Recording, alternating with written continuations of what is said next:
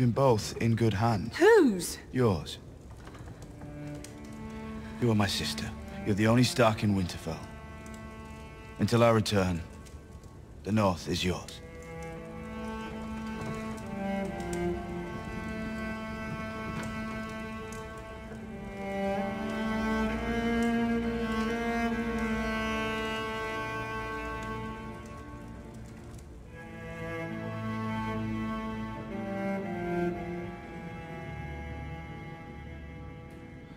I delivered his bones myself.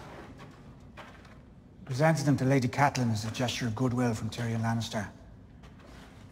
Seems like a lifetime ago. Do give Lord Tyrion my best when you see him. I was sorry when he died. Your father and I had our differences, but he loved Cat very much. So did I. She wasn't fond of you, was she?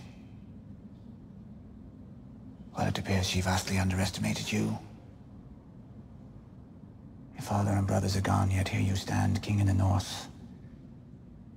Last best hope against the coming storm.